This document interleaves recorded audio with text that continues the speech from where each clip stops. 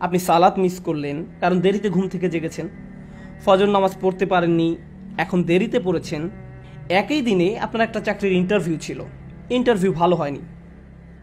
তখন আপনি ভাবতে থাকলেন, এমনটি ঘটেছে কারণ আমি সালাত মিস করেছি। এখন এর উত্তর হলো, সালাত মিস করার কারণে এমনটি হতে পারে, আবার নাও হতে পারে। নিশ্চিত করে জানার কোনো উপায় নেই।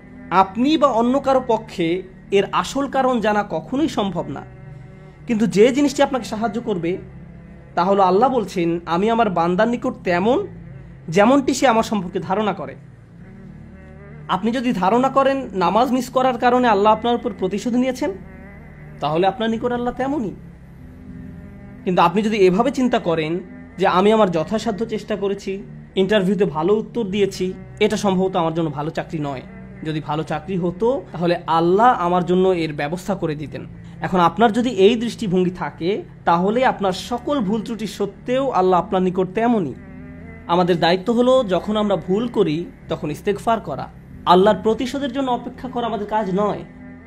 ব্যাপারটা বুঝতে চেষ্টা করুন। আমাদের কাজ এটা নয় যে, ওহ, আমি তো পাপ করে ফেলেছি। এখন আল্লাহ কোনো না কোনোভাবে আমাকে শাস্তি দিবেন। এজন্যই আল্লাহ বলছেন অমা আসাবাকুম মিন মুসিবাতিন, ফাবিমা কাসাবাত আইদিকুম।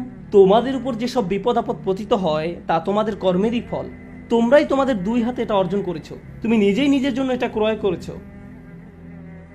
এমনকি আধ্যাত্মিক জগতেও আমাদের কর্মের কারণে আমাদের উপর বিভিন্ন বিপদ আপদ পতিত হতে পারে।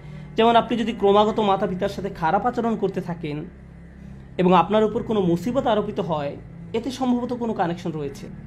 এই সমস্ত ক্ষেত্রে আল্লাহ কি করেন? ওয়াফু আন আনকাসির এবং তিনি তোমাদের গুনাহ ক্ষমা করে দেন। বস্তুগত জগতে আপনি যদি দুই তলার ছাদ থেকে লাভ দেন, ফলাফল ভোগ করতে হবে। আল্লাহ বলবেন না যে, এইবার আমি তোমার পা ভাঙবো না। না না, যা ঘটার তা ঘটবে। আগুনে যদি হাত রাখেন, তা পোড়া যাবেই। আল্লাহ বলবেন না যে, তুমি তো আজকে ফজর নামাজ পড়েছ, তোমার হাত পুড়বে না।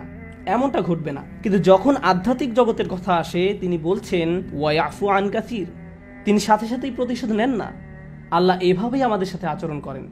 ওয়াই আফু আনকাথির এই ব্যাপারটা আমাদের মনের মাঝে গেঁথে নিতে হবে।